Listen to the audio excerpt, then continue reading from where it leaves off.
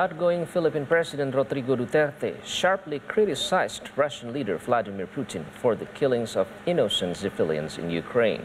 Duterte, who openly calls Putin an idol and a friend, voiced his rebuke for the first time over Russia's invasion of Ukraine in remarks aired Tuesday, where he blamed the three-month-old war for the spike in global oil prices that has battered many countries, including the Philippines.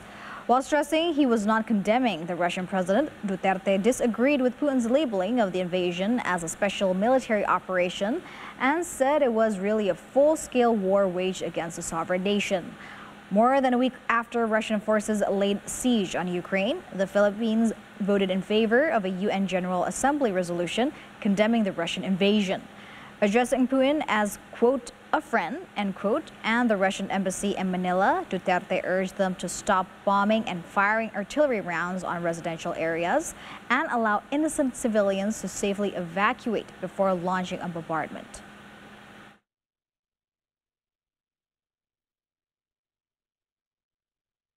Nagsasabi na barihan kami ni Putin, papatay.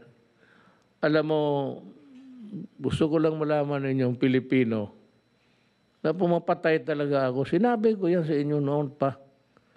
Pero pinapatay ko, kriminal.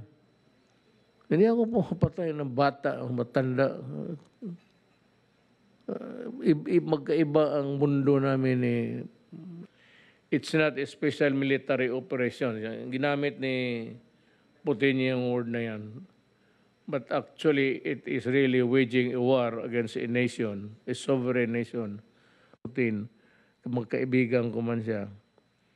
Uh, you are in control of everything. Anyway, you really started the rokos there na higpitan mo ang mga sundalo mo nagwawala eh. Palabas na ako.